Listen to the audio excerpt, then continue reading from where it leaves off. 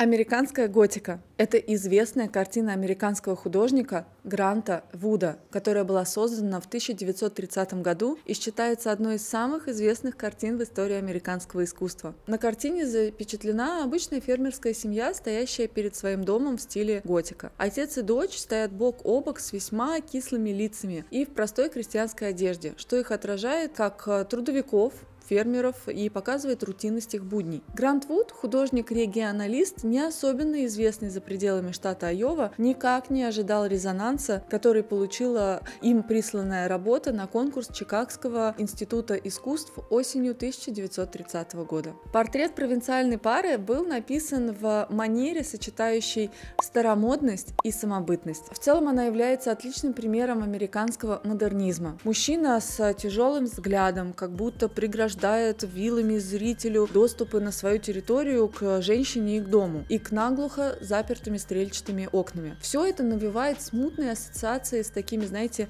мрачными тайнами готического романа. Кто-то воспринял американскую готику как дань уважения сельским труженикам Среднего Запада, но чаще в ней усматривали некий зловещий подтекст или на сатиру, или на провинциалов. Одна фермерша даже угрожала откусить художнику ухо. Было и такое. Ох уж эти хейтеры. Я не писал сатиру, пояснял удивленный трактовками Вуд. Я пытался изобразить этих людей такими, какими они были для меня в тот момент жизни и в жизни, которую я знал. Хвалители и хулители картины сходились в одном. Художник уловил такое нечто подлинно американское, поэтому она и не оставила равнодушными стольких людей по всей стране. Это, конечно же, Вуда изумляло. Он не помышлял о сатире. Он сам был сыном сельских жителей, и ранние годы он провел на ферме. Позже воспоминания о детстве в сельской глубинке и семейные альбомы с фотографиями в таком викторианском духе стали для него основным источником вдохновения. В августе 30 -го года в городке Элден художник приметил деревянный дом с окном, напоминающим о таких средневековых соборах Европы. Стиль, популярный на Среднем Западе в конце 19 века, называли плотницкой готикой. Провинциальные мастера украшали здания неоготическими викторианскими мотивами. Вуду очень понравилось нравились такие, знаете, вертикальные линии обшивки,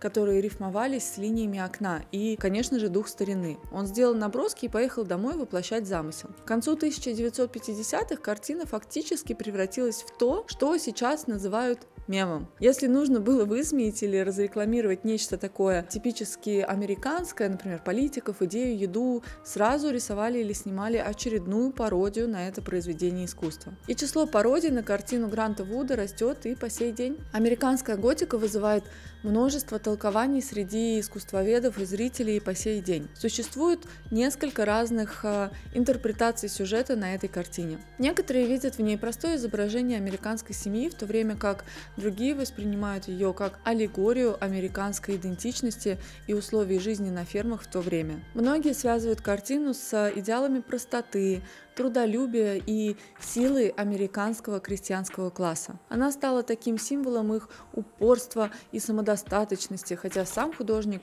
никогда явно не выражал какие-то определенные намерения относительно ее а, толкования. Строгие линии и контрастные тени, которые он изобразил, написав семью, создают чувство строгости и суровости. Американская готика полна символизма и вызывает размышления о социальных, религиозных и культурных вопросах, связанных э, с американским комьюнити в то время. Она запечатлела образ американской семьи, верных своим принципам и непоколебимых перед э, всеми тяготами и испытаниями жизни. Картина также вызывает вопросы и обсуждения о ее стилистическом направлении. Некоторые эксперты считают ее примером региональной живописи, известной как регионализм. Это движение в искусстве стремилось отразить особенности и характерные черты конкретных регионов и культур США. Грант Вуд является одним из наиболее известных представителей регионализма, и его работы почти всегда имеют отношение к жизни именно в сельской местности. Он создавал образы, которые буквально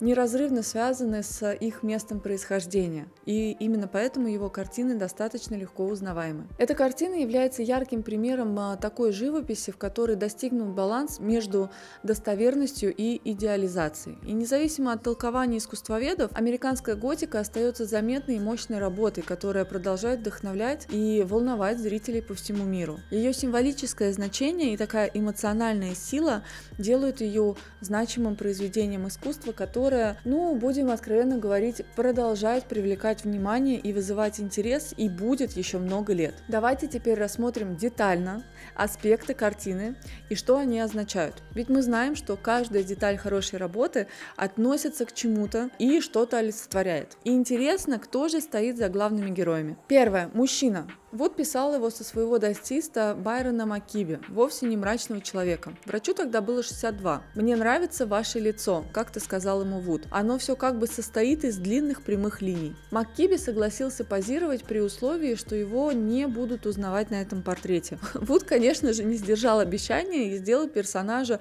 очень похожим на модель. По словам художника, конечно же, не намеренно.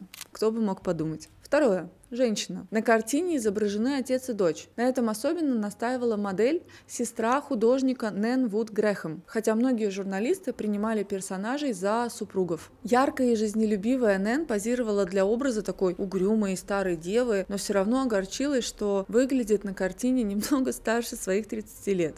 Она также утверждала, что Вуд присмотрел в Сидор Рапидсе гораздо более подходящую модель, но не решился предложить ей позировать. Советую повесить этот портрет на одной из наших добрых сыроварен Айовы. Иронизировала в письме в газету регионального назначения жена фермера миссис Эрл Робинсон. С выражения лица этой женщины определенно будет скисать молоко. Я бы хотела, чтобы эта завистливая дама прислала мне свою фотографию, ответила Нэн. Уж я-то знаю, куда ее повешу. Третье вилы. На карандашном эскизе в качестве символа сельскохозяйственных работ мужчина держал грабли. Но Вуд хотел, чтобы это орудие в руке персонажа ассоциировалось не с садоводством, а с уборкой сена. К тому же вертикальные э, линии зубцов соотносятся с другими вертикальными линиями картины и формируют определенный композиционный ритм работы. Например, строчка на джинсовом комбинезоне мужчины и полосы на рубашке, как и рамы окон и террасы, и растения на заднем заднем плане.